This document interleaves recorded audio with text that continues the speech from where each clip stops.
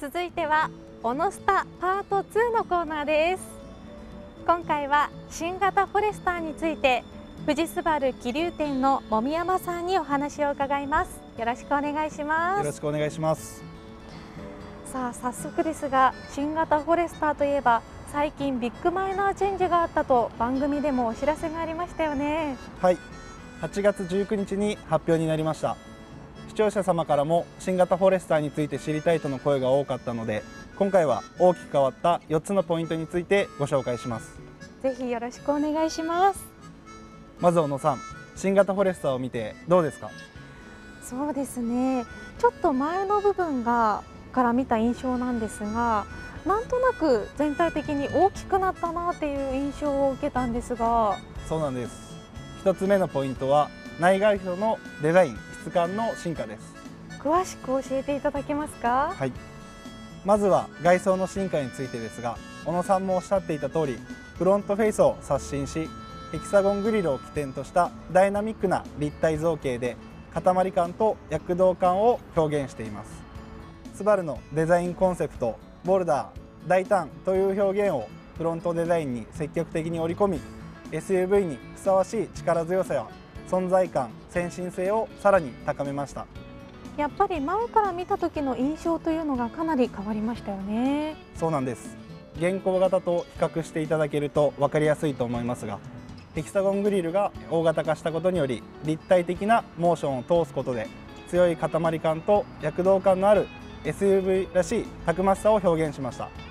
また小型化した先進的なヘッドランプがヘキサゴングリルを強調しさらに四隅のヘッドランプホグランプがフロントフェイスの立体感と厚みを力強く表現しています。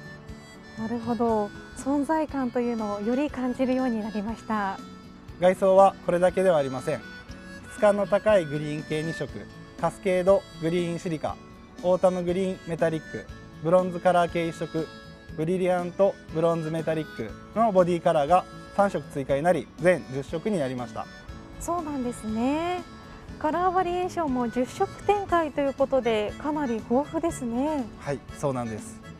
内装では基本造形はそのままに各グレード質感実用性を向上しバリエーションの幅を拡大しました。各グレード変更点が異なりますので詳しくは店頭スタッフまでお問い合わせください。グレードの変更点も気になってしまいますね。はい。続いて2つ目のポイントをご紹介します新型レボーグに採用された新世代アイサイトが新型フォレスターにも搭載されました。新世代アイサイトを詳しく教えていただけますか？はい。新世代アイサイトは新型ステレオカメラを採用し視野角を従来型と比べて約2倍拡大しました。また画像認識や制御性能を向上させています。これまで以上に多くのシーンでドライバーをサポートすることでより安心で楽しいドライブを提供しますアイサイト自体も日々進化しているんですね、はい、楽しみです。新世代アイサイトについてはまた別の機会に詳しく説明したいと思います。また新型フォレスターではレボーグに採用されている新世代アイサイトとは異なる点もございます。詳しくは店頭スタッフまでお問い合わせください。続いて3つ目のポイントは全車でサスペンションセッティングを見直し走行性能を向上させましたフォレスターの持つしなやかで安定感に優れた足回りが生む快適な乗り心地とリニアなハンドリングという魅力をさらに高めました。具体的にはフロントコイルスプリングやダンパーのチューニングによりサスペンションがよりしなやかに動くようになりました。ボディの揺れの収まりを良くするとともに快適な乗り心地をさらにレベルアップさせています。またコーナリング時のロールを減らすなどソーダ応答性もより高い次元へ引き上げました。揺れがかなり抑えられているということで乗り心地の方も気になってきますね。はい。最後のポイントは使い勝手の強化です。ドライバーモニタリングシステムに新機能を搭載しました。また荷室にカーゴアッパーフックが追加になりました。どちらもスバル初の機能なんですよ。そうなんですね。スバル初ということですがまずはドライバーモニタリングシステムの新機能について教えていただけますか？はいドライバーモニタリングシステム新機能はジェスチャーコントロール機能です。これはドライバーのジェスチャーでエアコンの設定温度を変更できる機能です。視線移動を抑えスイッチに触ることなく操作できますので運転に集中できます。